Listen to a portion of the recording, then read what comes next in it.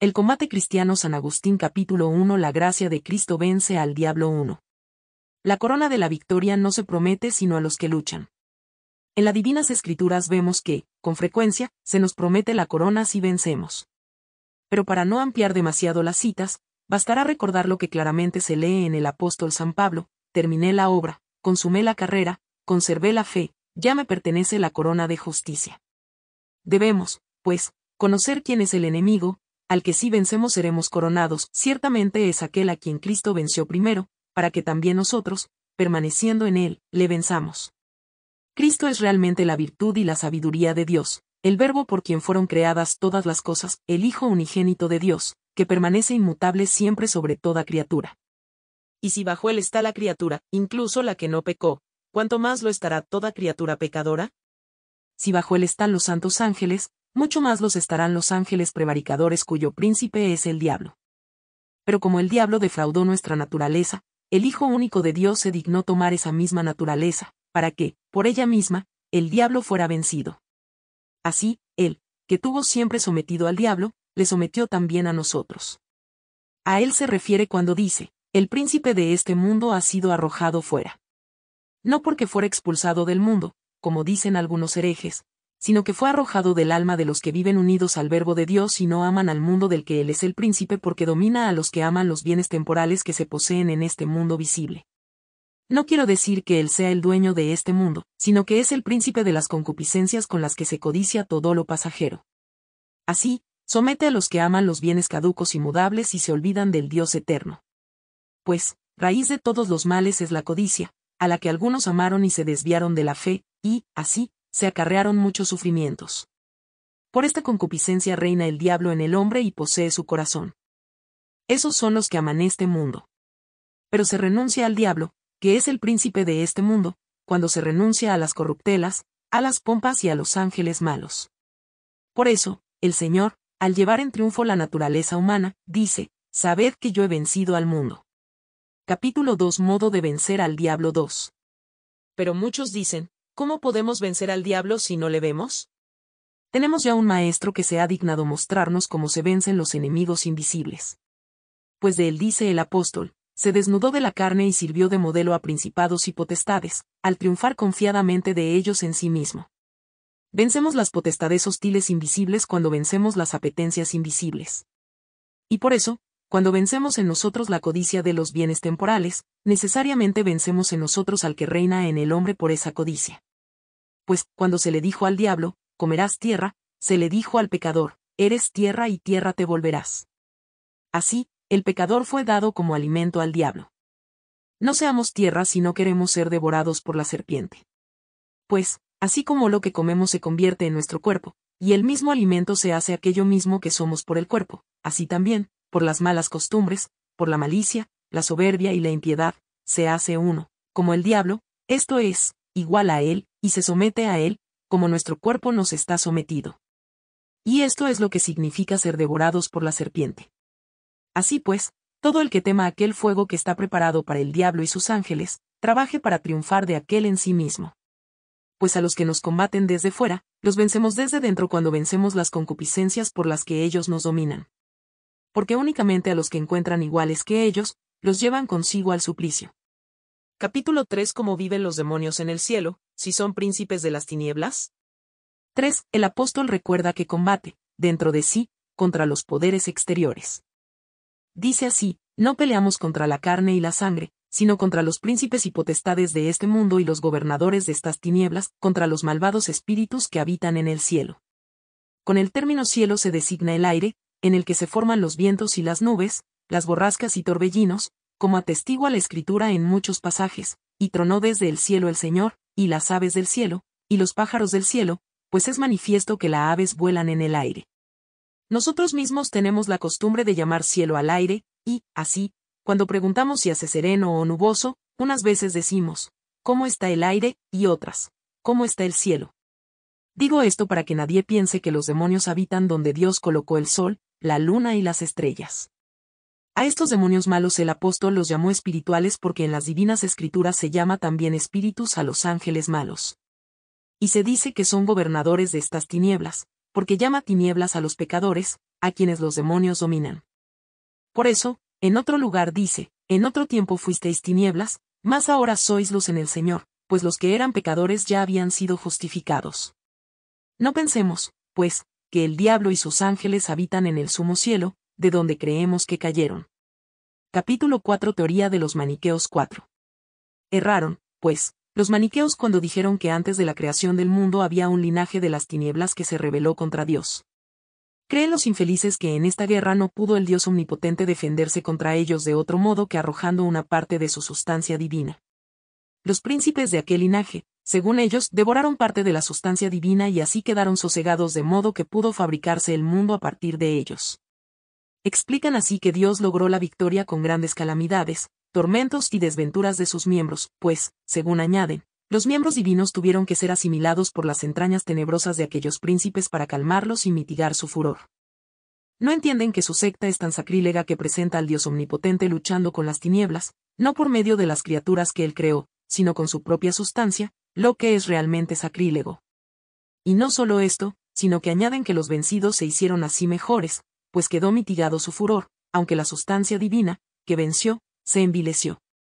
Más aún, dicen que, al mezclarse con leyes entrañas tenebrosas, la sustancia divina perdió el entendimiento, la bienaventuranza y quedó sumida en grandes errores y desventuras.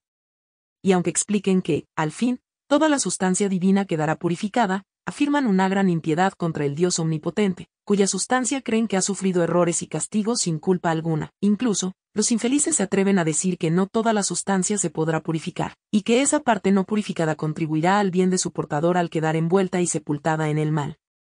Así siempre habrá una parte desventurada de Dios, porque aunque en nada delinquió quedará sujeta, para siempre, a la cárcel de las tinieblas.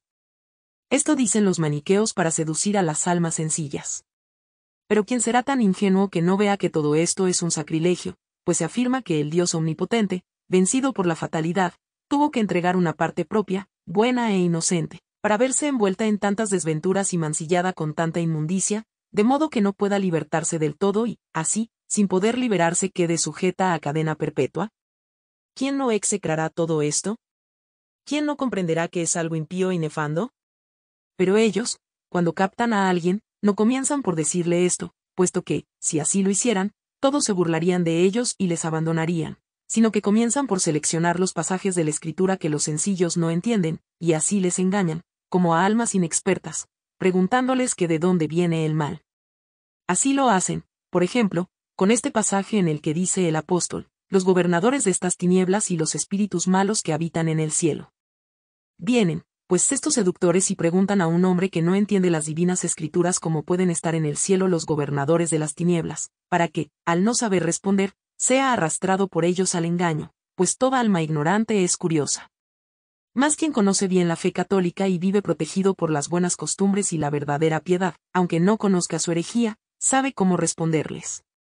Pues nadie puede engañar al que conoce lo que atañe a la fe católica, difundida por el orbe de la tierra, ya que ella vive segura, bajo el gobierno de Dios, frente a los impíos y pecadores y frente a los mismos católicos negligentes. Capítulo 5 de cómo los espíritus malos habitan en el cielo 5. Decíamos que el apóstol San Pablo afirma que estamos en combate contra los gobernadores de las tinieblas y los espíritus malos que habitan en el cielo. Y ya hemos probado que se llama cielo incluso al aire próximo a la tierra. Ahora, es preciso creer que nosotros luchamos contra el diablo y sus ángeles que se gozan en nuestra perturbación. En efecto, el mismo apóstol, en otro lugar, llama al diablo príncipe del poder del aire. Aunque este pasaje, en que dice, los espíritus malos del cielo, pueda entenderse de otro modo, para que no ponga en el cielo a los mismos ángeles prevaricadores, sino más bien a nosotros de quienes en otro lugar dice, nuestra conversación está en el cielo. Y para que aferrados a las cosas celestiales, es decir, caminando a los preceptos espirituales de Dios, luchemos contra los espíritus malos que tratan de arrojarnos de allí. Mucho nos hemos de preguntar cómo podemos luchar y vencer a los enemigos que no vemos, para que no piensen los necios que peleamos con el aire.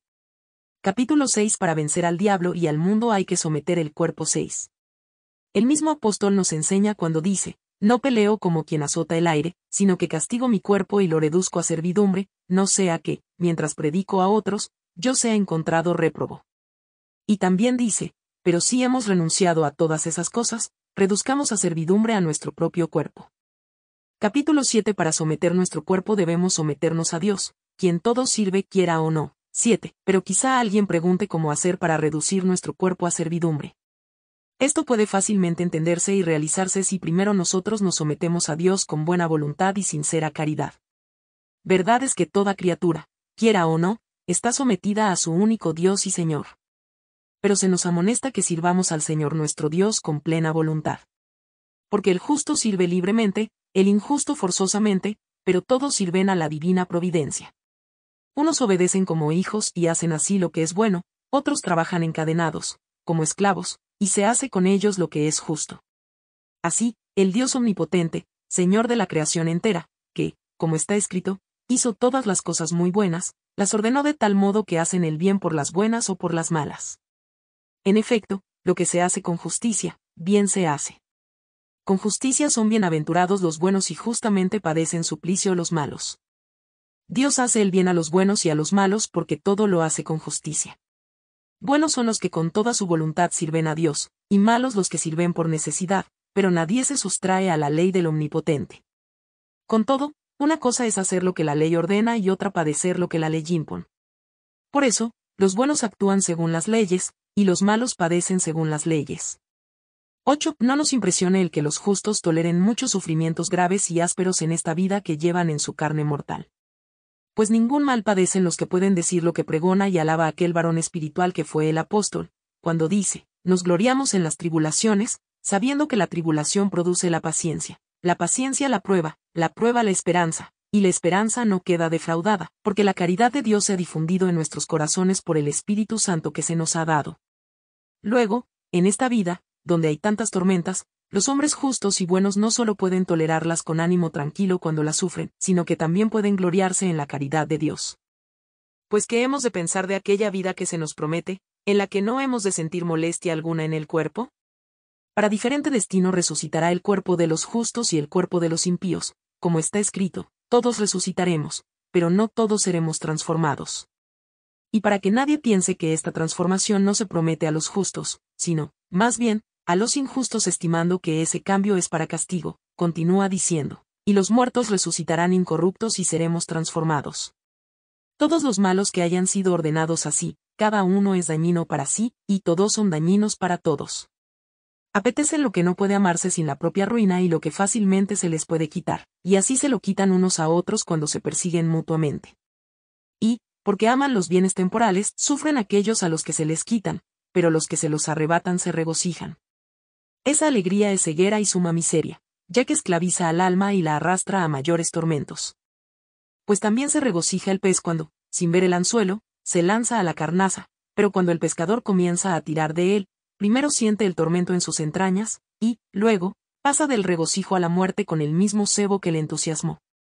Así, todos los que se sienten felices con los bienes temporales, se han tragado el anzuelo y con él viven la zozobra, pero vendrá un tiempo en que sentirán los graves tormentos que, con tanta avidez, han devorado. Y, por eso, en nada se daña a los buenos cuando les quitan lo que no aman, ya que aquello que aman y por lo que son felices, nadie se lo puede quitar. Pues los dolores corporales afligen míseramente a las almas malas, mientras purifican con resiedumbre a las buenas. Así acontece que el hombre malo y el ángel malo luchan a favor de la providencia divina, aunque no saben el bien que Dios realiza por medio de ellos. Por tanto, no se les pagará con el mérito del servicio, sino con el salario de la malicia. Capítulo 8 Todo lo gobierna la divina providencia 9. Pero, así como estas almas, con voluntad capaz de dañar y entendimiento para pensar, están ordenadas por la ley divina, para que nadie padezca injustamente, del mismo modo, todas las cosas, animales y corporales, cada una según su género y orden, están sometidas a la ley de la divina providencia y son gobernadas por ella. Por eso dice el Señor, no se venden dos pájaros por un as, y no cae en tierra uno de ellos sin la voluntad de vuestro Padre? Pues esto lo dijo para mostrar que la omnipotencia divina gobierna incluso lo que los hombres consideran muy vil. Así, atestigua la verdad que Dios alimenta las aves del cielo, viste a los lirios del campo y tiene incluso contados los cabellos de nuestra cabeza. Pero como Dios cuida, por sí mismo, de las puras almas racionales, ya se trate de los grandes y óptimos ángeles, ya de los hombres, que le sirven con toda su voluntad, y lo demás lo gobierna por medio de ellos, con toda verdad se pudo decir también lo del apóstol, ¿acaso se cuida Dios de los bueyes? en las Santas Escrituras, Dios enseña a los hombres cómo han de comportarse con los otros hombres y servir al mismo Dios. Ya saben ellos, por sí mismos, cómo tratar a sus animales, esto es, cómo cuidar su salud, dada la experiencia, la pericia y la razón natural, unas dotes que han recibido de los grandes tesoros de su Creador. Así pues, el que pueda, entienda cómo Dios su Creador gobierna a todas sus criaturas por medio de las almas santas, que son sus ministros en el cielo y en la tierra. Esas almas santas fueron hechas por Él y mantienen el primado de todas sus criaturas. El que pueda, pues, entender, entienda y entre en el gozo de su Señor. Capítulo 9 Gustar la dulzura divina 10. Pero si no podemos entenderlo mientras vivimos en este cuerpo y peregrinamos alejados del Señor, gustemos al menos cuán suave es el Señor, que nos dio las arras del Espíritu, con el que podamos experimentar su dulzura, y codiciemos la fuente misma de la vida, en la que, con sobria embriaguez, seamos regados e inundados, como el árbol plantado al borde de la corriente de agua, que da fruto a su tiempo y sus hojas nunca caen. Pues dice el Espíritu Santo, los hijos de los hombres esperarán a la sombra de tus alas, se embriagarán de las riquezas de tu casa y los abrevarás en el torrente de tus delicias. Porque en ti está la fuente de la vida, esa embriaguez no quita el sentido, sino que lo arrebata hacia lo alto y produce el olvido de las cosas terrenas, de modo que podamos decir, de todo corazón, como desea el siervo las fuentes de agua, así te desea a ti mi alma, oh Dios. Capítulo 10. El Hijo de Dios se hizo hombre por nosotros. El libre albedrío, 11. Pero si acaso no somos capaces de gustar la dulzura del Señor, a causa de las enfermedades que el alma contrajo por el amor de este mundo, creamos a la autoridad divina que en las Escrituras Santas habló acerca de su Hijo, que como dice el apóstol, vino a ser del linaje de David según la carne. Como está escrito en el Evangelio, todo fue creado por Él y sin Él nada se hizo. Él se compadeció de nuestra flaqueza, flaqueza que no es obra suya, sino que hemos merecido por nuestra voluntad. Pues Dios hizo al hombre inmortal y le dotó de libre albedrío, ya que no sería perfecto si hubiese tenido que cumplir los mandamientos de Dios por la fuerza y no de grado. Todo esto, a mi juicio, es muy fácil de entender, pero no quieren entenderlo los que abandonaron la fe católica y quieren llamarse cristianos pues sí con nosotros confiesan que la naturaleza humana no se cura sino haciendo el bien, confiesen que no se debilita sino pecando. Por lo tanto, no podemos creer que nuestra alma sea sustancia divina, porque, si lo fuese, no se podría deteriorar ni por su propia voluntad ni por ninguna necesidad imperiosa. Pues es bien sabido que Dios es inmutable para todos aquellos que no se empeñan en disputas, celos y deseos de vanagloria y en hablar de lo que no saben, sino que, con humildad cristiana, perciben la bondad de Dios y le buscan con un corazón sencillo. El Hijo de Dios se dignó asumir esta nuestra flaqueza, y el Verbo se hizo carne y habitó entre nosotros. No porque su eternidad fuera suplantada, sino porque mostró a la mirada mudable humana la criatura mudable que asumió con inmutable majestad. Capítulo 11 Conveniencia de la encarnación de Dios para liberar al hombre 12. Realmente son unos necios los que dicen, ¿no podía la sabiduría divina liberar al hombre de otro modo sino asumiendo al hombre, naciendo de mujer y padeciendo tanto de parte de los pecadores? A estos les decimos, podía perfectamente. Pero, si lo hubiese hecho de otro modo, también hubiese disgustado a vuestra necedad. Si no hubiese aparecido a los ojos de los pecadores, no hubiesen podido contemplar su esplendor eterno, visible a la mirada interior pero invisible a las mentes corruptibles. Pero ahora, al dignarse instruirnos con su apariencia visible para disponernos a lo invisible, disgusta a los avaros porque no tuvo un cuerpo de oro, disgusta a los impuros porque nació de mujer, y los impuros odian muchísimo el que las mujeres conciban y den a luz, disgusta a los altivos porque sufrió con paciencia las injurias, disgusta a los ibaritas porque fue atormentado, y disgusta a los medrosos porque padeció la muerte. Y para que no parezca que defienden sus vicios, dicen que eso no les disgusta en los hombres, sino en el Hijo de Dios pues no entienden en qué consiste la eternidad de Dios que asumió al hombre, ni en qué consiste esa misma criatura humana, que con esas mutaciones fue reconducida a su antigua firmeza, para que aprendiéramos, por la enseñanza divina, que la enfermedad contraída por el pecado se cura con la virtud. Así, también se nos mostraba a qué grado de caducidad había llegado el hombre, por su pecado, y de qué fragilidad fue liberado con el auxilio divino. Para eso el Hijo de Dios asumió al hombre y en él padeció los achaques humanos. Esta medicina del género humano es tan alta que no podemos ni imaginarla. Porque qué soberbia podrá curarse si no se cura con la humildad del Hijo de Dios? ¿Qué avaricia podrá curarse si no se cura con la pobreza del Hijo de Dios? ¿Qué ira podrá curarse si no se cura con la paciencia del Hijo de Dios? ¿Qué impiedad podrá curarse si no se cura con la caridad del Hijo de Dios? Finalmente, ¿qué miedo podrá curarse si no se cura con la resurrección del cuerpo de Cristo el Señor? Levante el género humano su esperanza y reconozca su naturaleza y vea qué alto lugar ocupa entre las obras de Dios. No os menospreciéis, oh varones, pues el Hijo de Dios se hizo varón. No os menospreciéis, oh mujeres, pues el Hijo de Dios nació de mujer. Pero tampoco améis lo carnal, pues, en el Hijo de Dios, no somos ni varón ni mujer. No améis las cosas temporales, porque si pudieran amarse rectamente, las hubiese amado el hombre asumido por el Hijo de Dios. No temáis las afrentas ni la cruz ni la muerte, porque si dañasen al hombre no las hubiera padecido el hombre que asumió el Hijo de Dios. Toda esta exhortación que, ahora, por doquier se pregona y venera, que cura a toda alma obediente, no entraría en las vidas humanas si no se hubiesen realizado todas esas cosas que tanto disgustan a los necios. A quien se dignará imitar la ambiciosa altivez, para llegar a gustar la virtud, si se avergüenza de imitar a aquel de quien se dijo, antes de nacer, que será llamado Hijo del Altísimo, y que de hecho así es ya llamado por todos los pueblos, cosa que nadie puede negar. Si tan alta estima tenemos de nosotros mismos, dignémonos imitar a aquel que se llama Hijo del Altísimo. Si nos tenemos en poco, osemos imitar a los publicanos y pecadores que le imitaron a él. O medicina que a todos aprovecha, reduce todos los tumores, purifica todas las podredumbres, suprime todo lo superfluo, conserva todo lo necesario, repara todo lo perdido, corrige todo lo depravado. ¿Quién se enorgullecerá contra el Hijo de Dios? ¿Quién desesperará de sí, cuando el Hijo de Dios quiso ser tan débil por él? ¿Quién pondrá la vida feliz en aquellas cosas que el Hijo de Dios enseñó a despreciar? ¿A qué adversidades cederá, quien cree que la naturaleza humana fue preservada, por el Hijo de Dios, entre tantas persecuciones? ¿Quién pensará que tiene cerrado el reino de los cielos, cuando sabe que los publicanos y las meretrices imitaron al Hijo de Dios? ¿Y de qué maldad no se librará quien contempla, ama e imita los hechos y dichos de aquel hombre en el que el Hijo de Dios se nos ofreció como ejemplo de vida? Capítulo 12 La fe cristiana reina y vence por doquier 13. Así pues, varones y mujeres, y toda edad y dignidad de este mundo, se nos exhorta a la esperanza de la vida eterna. Unos, abandonando los bienes temporales, vuelan a los divinos.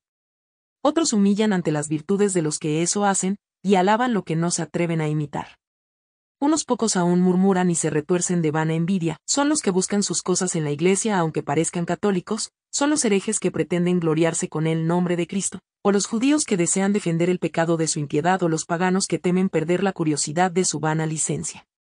Pero la Iglesia católica, difundida a lo largo y lo ancho de todo el orbe, que quebrantó el ímpetu de todos ellos en tiempos pasados, se robustece más y más, no con la resistencia, sino con la tolerancia. Apoyada en su fe, se ríe de los problemas insidiosos que ellos presentan, con diligencia los discute, con inteligencia los resuelve. No se cuida de la paja de sus acusadores, ya que distingue con cautela y diligencia el tiempo de la cosecha, el de la era y el del granero. Corrige a los que denuncian su grano y a los que yerran, o cuenta entre las espinas y la cizaña a los envidiosos. Capítulo 13 La fe recta y la acción buena 14. Así pues, Sometamos nuestra alma a Dios si queremos reducir a servidumbre nuestro cuerpo y triunfar del diablo. La fe es la primera que somete el alma a Dios. Después, los preceptos para vivir bien, cuya observancia afirma la esperanza, nutre la caridad y comienza a iluminar lo que antes, solo, se creía.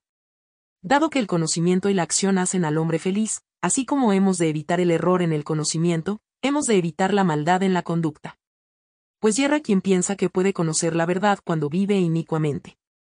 Porque iniquidad es amar este mundo y estimar en mucho lo que nace y pasa, así como desearlo y trabajar para conseguirlo, regocijarse cuando abunda, temer que perezca y entristecerse cuando perece. Una vida tal no puede contemplar aquella verdad pura, auténtica e inalterable, ni adherirse a ella ni permanecer con ella para siempre. Por tanto, antes de que se purifique nuestra mente, hemos de creer lo que aún no podemos entender, pues con razón dijo el profeta, si no creyereis, no entenderéis. 15. La Iglesia nos transmite, en pocas palabras, la fe con la que se nos confían las cosas eternas, que los carnales no pueden todavía entender, y también las cosas temporales, pasadas y futuras, que la eternidad de la divina providencia realizó o realizará por la salvación de los hombres.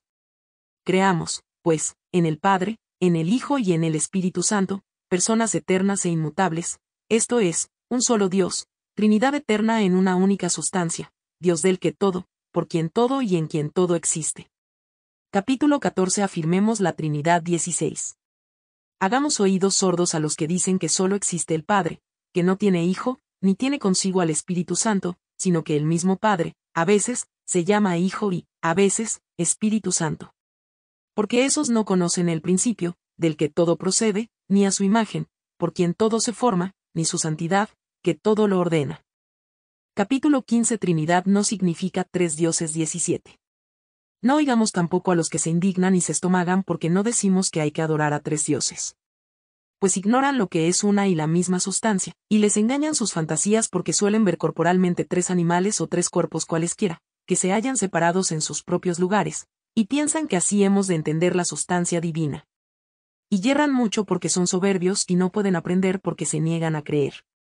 Capítulo 16 Las tres divinas personas son iguales y eternas 18 ni escuchemos a los que dicen que solo el Padre es Dios verdadero y eterno, que el Hijo no fue engendrado por él, sino hecho por el de la nada, que hubo un tiempo en el que el Hijo no existía, aunque ocupa el primer lugar entre todas las criaturas, y que el Espíritu Santo es de menor majestad que el Hijo y que fue hecho después del Hijo y que la sustancia de los tres es diferente como el oro, la plata y el bronce. No saben lo que dicen, y, acostumbrados a ver las cosas con los ojos corporales, se empeñan en transferir sus vanas imágenes a estas sus discusiones. Ciertamente es algo grande contemplar con la mente una generación que no se realiza en el tiempo, sino que es eterna, y contemplar la misma caridad y santidad por la que el engendrador y el engendrado se unen de modo inefable. Es grande y difícil contemplar esto con la mente, aunque esté sosegada y tranquila.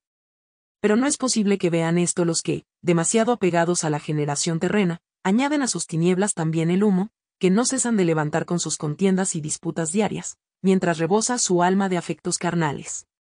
Son como leños que resuman humedad, de los que el fuego no logra sacar sino humo y no pueden producir llama limpia. Y esto se puede decir, con razón, de todos los herejes. Capítulo 17 La fe en la encarnación de Cristo 19. Creamos, pues, en la Trinidad inmutable al mismo tiempo que en su economía temporal por la salud del género humano. Y no escuchemos a los que dicen que el Hijo de Dios, Jesucristo, no es más que un simple hombre, aunque tan justo que mereció ser llamado Hijo de Dios. A estos también la disciplina católica los arrojó de su seno, porque, engañados con el apetito de la vanagloria, se empeñaron, con obstinación, en discutir, antes de entenderlo, qué es la verdad y la sabiduría de Dios, y qué significa, en el principio era el Verbo, por quien fueron hechas todas las cosas, y como el Verbo se hizo carne y habitó entre nosotros.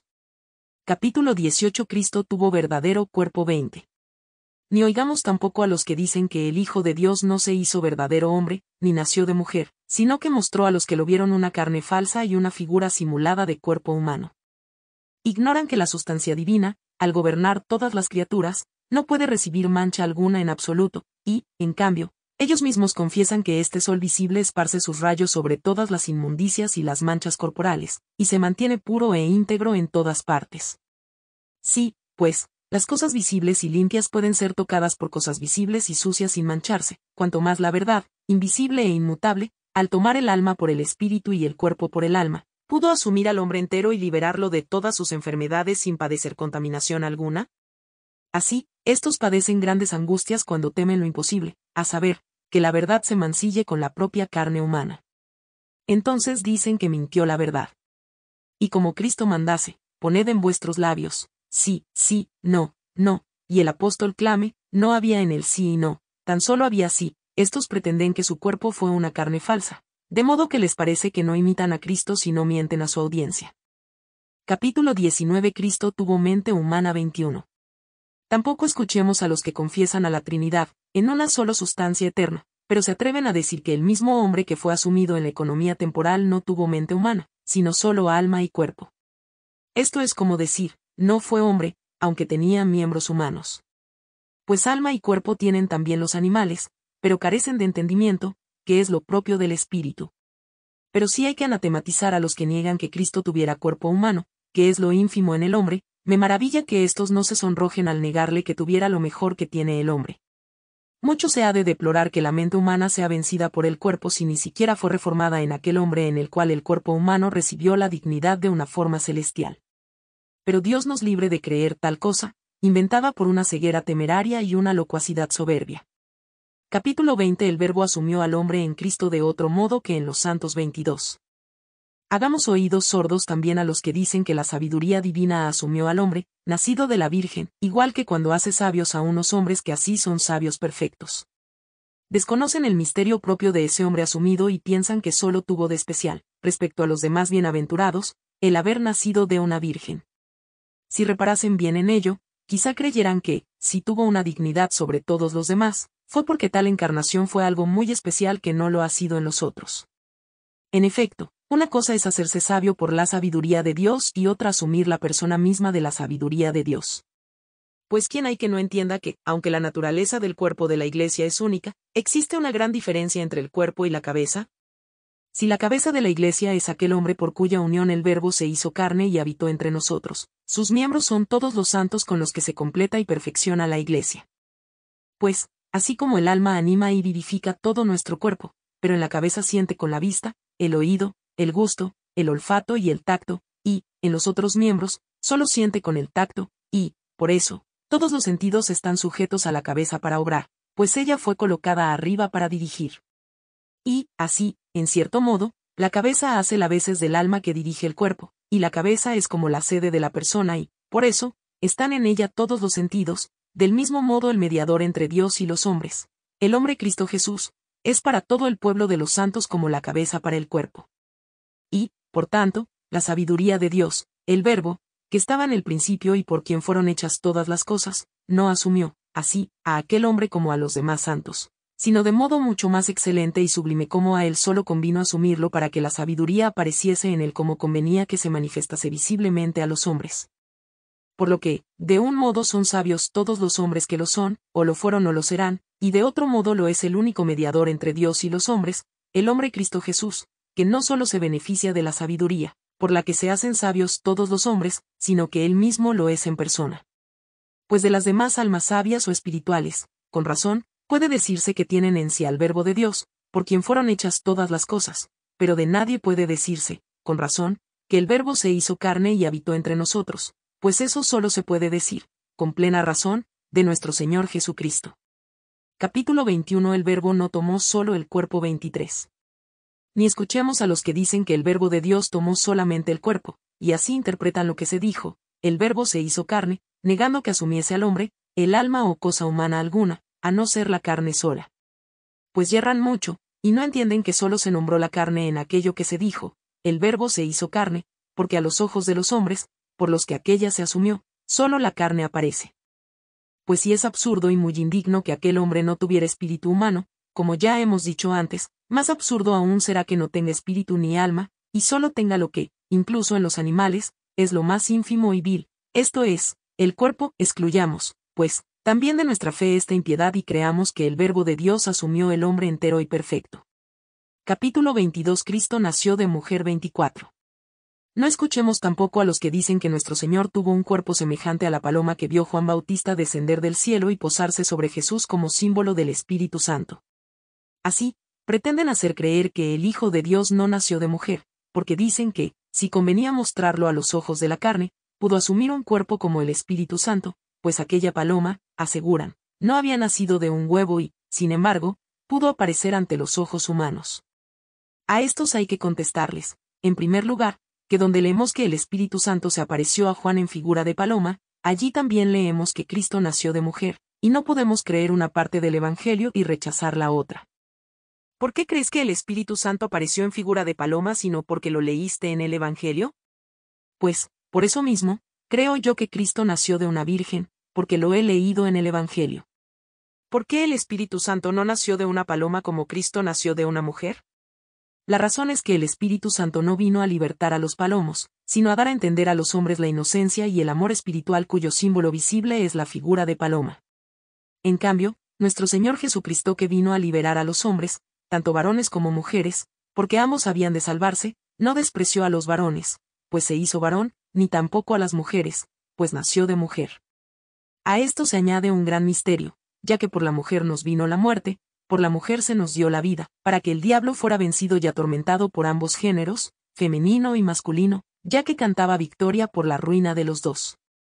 Pequeño hubiera sido el rescate, de libertar ambos géneros, si no hubiera sido menester valerse de ambos para obtener la libertad. Y esto no lo decimos como si afirmásemos que solo el Señor Jesucristo tuviera verdadero cuerpo y que el Espíritu Santo hubiese aparecido, falazmente, a los ojos de los hombres, sino que a esos dos cuerpos creemos verdaderos cuerpos. Pues, como no convenía que el Hijo de Dios engañase a los hombres, tampoco era apropiado que los engañase el Espíritu Santo. Pero al Dios omnipotente que hizo todas las criaturas de la nada, no le era difícil fabricar un verdadero cuerpo de paloma, sin necesidad de padres, como no le fue difícil, aún sin el semen viril, hacer un verdadero cuerpo en el seno de María, pues la naturaleza corporal está sometida al imperio y a la voluntad de Dios, tanto en las entrañas de la mujer, para hacer un nuevo hombre, como en el mismo mundo para hacer una paloma. Pero los hombres necios y miserables no creen que el Dios omnipotente pudiese hacerlo porque ellos no lo pueden hacer o porque nunca en su vida lo vieron. Capítulo 23 El Hijo de Dios padeció sin perder su divinidad 25. Hagamos oídos sordos, también, a los que quieren obligarnos a contar entre las criaturas al Hijo de Dios porque padeció. Pues dicen, si padeció es mudable, y si es mudable es criatura, porque la sustancia divina no admite alteración. Con estos, también nosotros decimos que la sustancia divina no admite mutación y que la criatura es mudable. Pero una cosa es ser criatura y otra asumir la criatura. El Hijo unigénito de Dios, que es virtud y griega sabiduría de Dios, y verbo, por el que se hicieron todas las cosas, aunque no admite alteración alguna, tomó la criatura humana, que él se dignó levantar cuando aún estaba caída y renovarla cuando estaba decrépita. Y no se deterioró él por lo que padeció, sino que la mejoró y la transformó por su resurrección. Por eso, no hemos de negar que el Verbo del Padre, el Hijo único de Dios por el que se hizo todo, nació y padeció por nosotros. Pues también decimos que los mártires padecieron y murieron por el reino de los cielos, y, sin embargo, en esa pasión y muerte no perecieron sus almas. Por esto dice el Señor, no temáis a los que matan el cuerpo, pero nada pueden hacer al alma. Pues así como decimos que los mártires padecieron y murieron en el cuerpo que tenían, sin destrucción ni muerte del alma, así el Hijo de Dios decimos que padeció y murió, en el hombre asumido por él, sin mutación o muerte alguna de su divinidad. Capítulo 24 Cristo resucitó con el mismo cuerpo que fue sepultado 26. No escuchemos tampoco a los que niegan que el Señor resucitase con el mismo cuerpo que fue depositado en el sepulcro. Si no hubiera sido el mismo, no hubiera dicho a sus discípulos después de la resurrección, palpad y ved, porque el espíritu no tiene huesos y carne, como veis que tengo yo. Es un sacrilegio creer que nuestro Señor, que es la misma verdad, haya mentido en algo. Ni nos impresione, que, estando las puertas cerradas, de pronto, se apareciese a los discípulos, como está escrito, y por eso neguemos que tenía un cuerpo humano, porque, contra la naturaleza de este cuerpo, le vemos entrar con las puertas cerradas todo es posible para Dios. Así, caminar sobre las aguas es notoriamente contra la naturaleza de ese cuerpo, y, sin embargo, no solamente el mismo Señor caminó, antes de su pasión, sino que además hizo caminar a Pedro. Del mismo modo, también, después de su resurrección hizo lo que quiso de su cuerpo. Sí, pues, pudo glorificarlo, antes de su pasión, con un esplendor como el del sol, porque no pudo, también, después de su pasión, reducirlo al nivel de sutilidad que haya querido, de modo que pudiera entrar con las puertas cerradas? Capítulo 25 El cuerpo de Cristo fue elevado al cielo 27. Ni oigamos a los que niegan que nuestro Señor llevase al cielo su cuerpo, y citan, a ese propósito, lo que está escrito en el Evangelio, nadie subió al cielo sino quien descendió del cielo. Y dicen, dado que el cuerpo no descendió del cielo, no podía subir al cielo. No entienden que el cuerpo no subió al cielo, pues el Señor ascendió, pero el cuerpo no ascendió, sino que fue llevado al cielo al llevarlo el que ascendió. Es como si, por ejemplo, alguien desciende desnudo de un cerro, y cuando ha descendido se viste y, vestido, sube de nuevo. Con razón, ciertamente, decimos, nadie ascendió sino el que descendió, y no tenemos en cuenta el vestido que consigo se llevó, sino que decimos tan solo que subió quien ya se vistió. Capítulo 26 Cristo está sentado a la derecha del Padre. ¿Qué es la derecha y la izquierda? 28. Ni escuchemos a los que niegan que el Hijo esté sentado a la derecha del Padre. Y dicen, ¿es que acaso el Padre tiene costado derecho e izquierdo como los cuerpos humanos? Nosotros tampoco tenemos este pensamiento acerca del Padre, ya que Dios no se define ni encierra en forma alguna de cuerpo. La diestra del Padre es la bienaventuranza eterna que se promete a los santos, como, con razón, se llama siniestra la miseria perpetua que se otorga a los impíos, de modo que, como dijimos, se entienda que la derecha y la izquierda no se encuentra en Dios mismo, sino en las criaturas. El cuerpo de Cristo, que es la Iglesia, ha de estar a la derecha, esto es, en la misma bienaventuranza, como lo dice el apóstol, pues, juntos nos resucitó y juntos nos hizo sentar en los cielos. Y aunque nuestro cuerpo aún no esté allí, nuestra esperanza ya está allí. Por eso, el mismo Señor, después de la resurrección, mandó a los discípulos, que estaban pescando, que echaran la red a la derecha. Y cuando lo hicieron, cogieron unos peces que eran todos grandes, porque estos simbolizaban a los justos a los que se promete la derecha. Esto mismo quiso dar a entender cuando dijo que en el juicio iba a poner a los corderos a la derecha y a los cabritos a la izquierda. Capítulo 27 El juicio final es cierto 29. Ni oigamos a los que niegan el día del juicio futuro, y recuerdan que en el Evangelio está escrito que el que cree en Cristo no será juzgado y que el que no cree en él ya está juzgado. Dicen pues, si el que cree no vendrá a juicio y el que no cree ya está juzgado, ¿dónde están los que han de ser juzgados el día del juicio? No entienden que las escrituras hablan así para presentar el tiempo pasado como futuro, según arriba dijimos que el apóstol dice, de nosotros, que juntos nos ha hecho sentar en los cielos, aunque todavía no se ha realizado. Como el mismo Señor dijo a sus discípulos, todo lo que he oído a mi Padre os lo he dado a conocer. Y poco después dice, muchas cosas tengo aún que deciros, pero no podéis llevarlas ahora. Como ha dicho, pues, todo lo que he oído a mi Padre os lo he dado a conocer, sino al dar por realizado lo que sin duda, un día, había de realizar por el Espíritu Santo? Del mismo modo, cuando oímos, el que cree en Cristo no vendrá a juicio, entendemos que no sufrirá la condenación. Pues se dice juicio por condenación, como cuando dice el apóstol, el que no come no juzgue al que come, es decir, no piense mal de él. Y el Señor dice, no juzguéis y no seréis juzgados. Pero no nos quita la inteligencia para juzgar, pues el profeta dice, hijos de los hombres, si amáis de verdad la justicia, juzgad lo recto. Y el mismo Señor nos dice, no juzguéis según las personas, sino haced un juicio justo. En esto, en que nos prohíbe juzgar, nos advierte que no condenemos a nadie, porque no conocemos sus pensamientos o no sabemos cómo ha de ser más tarde. Del mismo modo, al decir que no vendrá a juicio, quiso decir que no sufrirá condena. Y, con, el que no cree ya ha sido juzgado, quiso decir que en la presencia divina ya está condenado, pues Dios sabe lo que amenaza a los incrédulos. Capítulo 28 El Espíritu Prometido no vino con Pablo y Montano 30. No escuchemos tampoco a los que dicen que el Espíritu Santo que prometió el Señor en el Evangelio ha venido con Pablo, el apóstol, o con Montano y Priscila, como dicen los catafrigas, o con no sé qué manés o maniqueo, como dicen los maniqueos. Estos están tan ciegos que no entienden las escrituras más claras o viven tan olvidados de su salvación que no las leen en absoluto.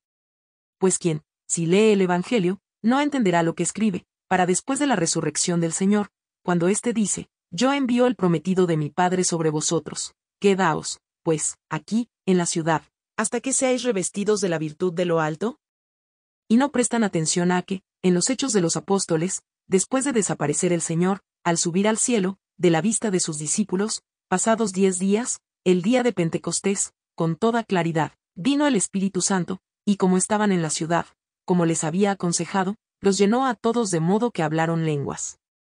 Pues de las diversas naciones que entonces estaban presentes, cada uno de los oyentes les entendía en su propia lengua.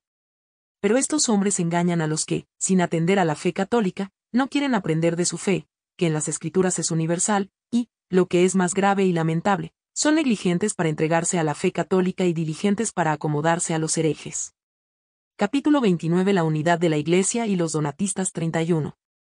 Ni escuchemos a los que niegan que la Santa Iglesia, que es la única católica, esté difundida por todo el mundo, sino que piensan que solo es válida en África, esto es, en el partido de Donato. Estos hacen oídos sordos al profeta que dice, Tú eres mi hijo, yo te he engendrado hoy, Pídeme y te daré todas las gentes como herencia tuya y como posesión tuya hasta los confines de la tierra. Y otros muchos pasajes, que están escritos tanto en el Antiguo como en el Nuevo Testamento, que muy claramente declaran que la Iglesia de Cristo está difundida por todo el orbe de la tierra. Cuando les objetamos esto, dicen que eso se realizó ya antes de surgir el partido de Donato, pero que después pereció toda la Iglesia, y pretenden que solo quedaron sus restos en la parte de Donato, o, lengua orgullosa y abominable, Ojalá al menos viviesen de modo que entre ellos se mantuviese la paz. Pero ahora no se dan cuenta que ya ha ocurrido en el donatismo lo que está escrito. con la medida que midiereis seréis medidos. Pues como Donato intentó dividir a Cristo, así él es dividido por los suyos con divisiones diarias. A esto también pertenece aquello que el Señor dice, el que a espada hiere, a espada morirá. En este pasaje, la espada, que tiene un sentido peyorativo, significa la lengua que siembra la discordia, con la que el infeliz Donato hirió a la iglesia aunque no la asesinó. Porque no dijo el Señor, el que mate con la espada, a espada morirá, sino, quien usare de la espada, a espada morirá. Como él hirió a la iglesia con la lengua contenciosa, también él es hoy dividido, por ella, hasta que se disgregue y muera definitivamente. Pues, aunque el apóstol Pedro, que no había obrado por propio orgullo sino por amor, aunque fuera carnal, al Señor, cuando fue amonestado guardó la espada, pero este Donato no la envainó ni aún vencido. Llevó al obispo ceciliano ante el tribunal, ante los obispos de Roma que él había pedido, no pudo probar nada de lo que había intentado, pero se cerró en su cisma hasta morir con su espada. Su partido no escucha ni a los profetas ni al Evangelio, en los que muy claramente está escrito que la Iglesia de Cristo está difundida entre todas las gentes. Y escucha a los cismáticos, no buscando la gloria de Dios sino la suya, y así manifiesta con claridad que es un esclavo, no un hombre libre, que tiene cortada la oreja derecha. Pues Pedro, equivocado por amor al Señor, cortó la oreja derecha a un siervo, no a un hombre libre, y eso significa que los que son heridos por la espada del cisma, son siervos de los deseos carnales y aún no han sido conducidos a la libertad del Espíritu Santo, de modo que ya no pongan la confianza en el hombre. Significa también que no oyen lo que es recto, esto es, la gloria del Señor muy ampliamente proclamada por la Iglesia Católica, sino que solo oyen el error siniestro de la vanagloria humana. Y si el Señor dice en el Evangelio que, cuando éste fuere predicado, en todos los países, vendrá el fin, como dicen estos que todas las demás gentes perdieron la fe, ¿Y que la Iglesia permaneció solo en la parte de Donato? Pues es notorio que, después de separarse su partido de la unidad, han creído nuevas gentes, y todavía quedan algunas sin recibir la fe, por lo que se les predica cada día, sin cesar, el Evangelio. Y quien no se admiraría de alguien que quisiera llamarse cristiano y le arrastrase tan gran impiedad, contra la gloria de Cristo, ¿Qué osare decir que todos aquellos pueblos que actualmente acceden a la Iglesia de Dios y se apresuran a creer en el Hijo de Dios, en vano lo hacen porque no los bautiza un donatista? Sin duda los hombres abominarían de todo esto y los abandonarían sin dilación, si buscasen a Cristo, si amasen a la Iglesia, si fuesen libres, y si tuviesen sana la oreja derecha. Capítulo 30 contra los luciferinos 32. Ni oigamos a los que, aunque no rebauticen a nadie, se separaron de la unidad y prefirieron llamarse luciferinos y no católicos. Hacen bien, en cuanto entienden que el bautismo de Cristo no se debe repetir. Sienten que el sacramento de la santa purificación no se da en parte alguna sino por la Iglesia católica, pues los sarmientos cortados mantienen en sí aquella forma que habían recibido de la vida antes que fueran cortados. Estos son, pues de quienes dijo el apóstol, tienen la apariencia de piedad, pero niegan su virtud. La gran virtud de la piedad es la paz y la unidad, porque Dios es uno. Pero ellos no la tienen porque fueron separados de la unidad. Y, por tanto, si alguno de ellos viene a la católica, no renuevan la apariencia de piedad que tienen, sino que reciben la virtud de la piedad que no tienen. Pues claramente enseña el apóstol que los ramos amputados pueden injertarse de nuevo si no permanecen en la incredulidad. Cuando los luciferinos lo entienden y no rebautizan no se lo condenamos, más quien no reconocerá que es detestable el que hayan preferido ser desarraigados. Máxime, porque lo que más les desagradó en la Iglesia católica fue el que su piedad fuese católica. Porque nunca en ninguna parte deben reinar las entrañas de misericordia, como en la Iglesia católica, para que, como auténtica madre, no insulte con orgullo a los hijos pecadores, y perdone, sin dificultad, a los arrepentidos. Pues, no sin causa, Pedro hace las veces de esta Iglesia católica entre todos los apóstoles. A esta Iglesia se le dieron las llaves del reino de los cielos cuando se las dieron a Pedro. Y cuando a él se le dijo, a todos se les dijo, ¿me amas?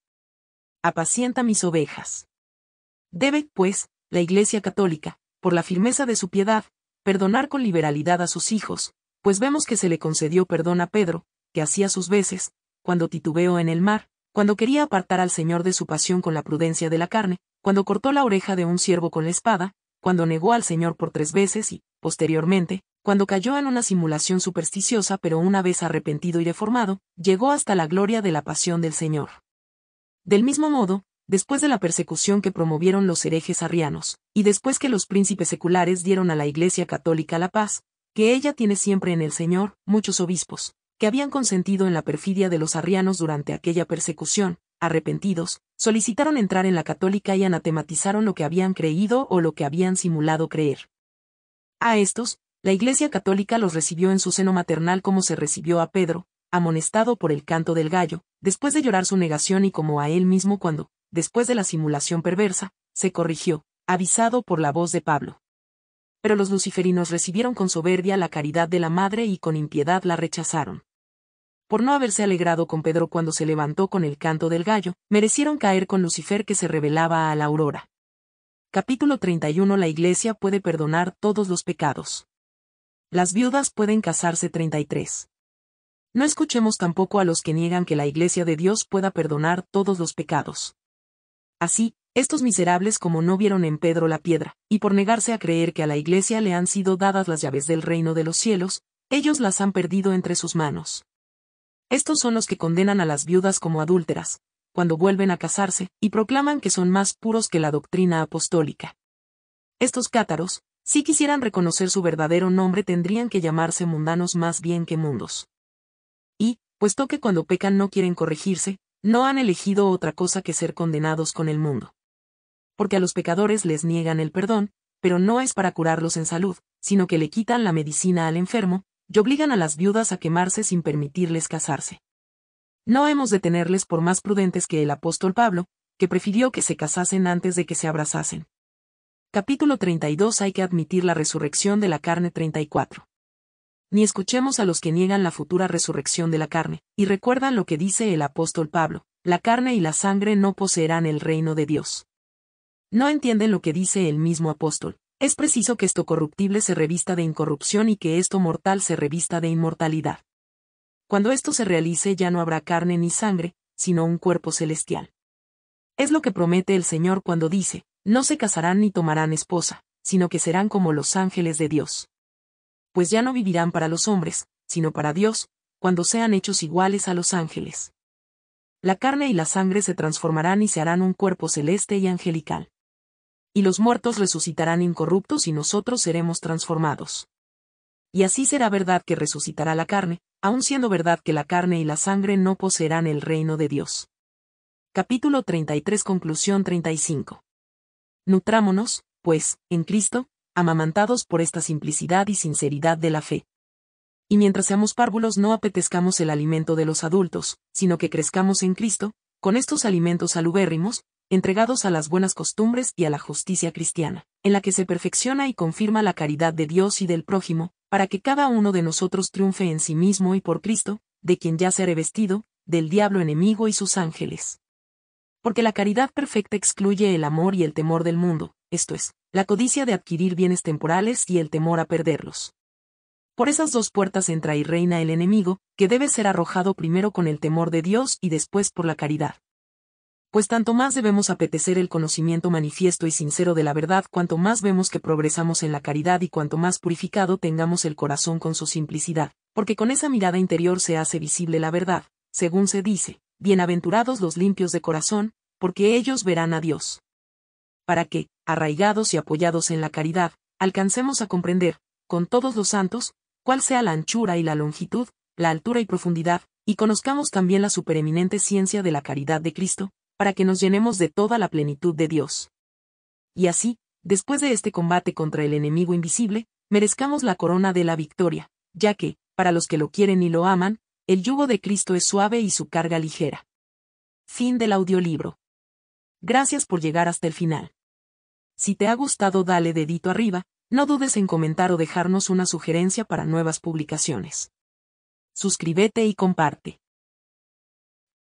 Con María Madre. Como Reina Protectora y Abogada nuestra. Dios te bendiga.